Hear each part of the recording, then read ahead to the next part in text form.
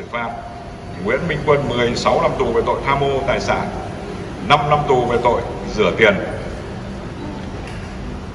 Tổng hợp hình phạt buộc bị cáo chấp hành phạt chung cho hai tội là 21 năm tù. Thời hạn tù tính từ ngày 7 tháng 11 năm 2021. Sau 2 ngày xét xử, sáng ngày 1 tháng 12, Tòa án nhân dân thành phố Hồ Chí Minh tuyên án đối với cựu giám đốc bệnh viện thành phố Thủ Đức Nguyễn Minh Quân và 8 đồng phạm. Theo hội đồng xét xử, căn cứ tài liệu chứng cứ có trong hồ sơ vụ án đã được tranh tụng công khai tại phiên tòa.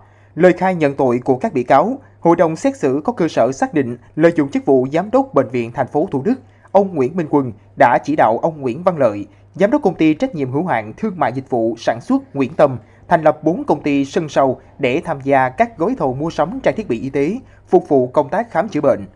Theo hội đồng xét xử, cáo trạng xác định ông Quân chiếm đoạt 103 tỷ đồng là toàn bộ số tiền thắng 27 gói thầu mà ông Lợi chuyển cho ông Quân.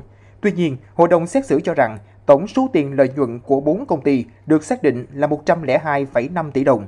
Do đó, hội đồng xét xử xác định lại số tiền mà ông Quân chiếm đoạt là 102,5 tỷ đồng. Sau khi cân nhắc các tình tiết tăng nặng, giảm nhẹ, hội đồng xét xử tuyên các mức án. Nguyễn Minh Quân lãnh 16 năm tù về tội tham ô tài sản, 5 năm tù về tội rửa tiền, tổng hợp hình phạt là 21 năm tù. Nguyễn Văn Lợi lãnh 12 năm tù về tội tham ô tài sản, 3 năm tù về tội rửa tiền, tổng hợp hình phạt là 15 năm tù.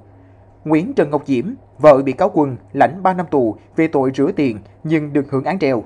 Các bị cáo khác nhận mức án người thấp nhất 2 năm 6 tháng, người cao nhất 3 năm tù, cùng về tội vi phạm quy định về đấu thầu gây hậu quả nghiêm trọng.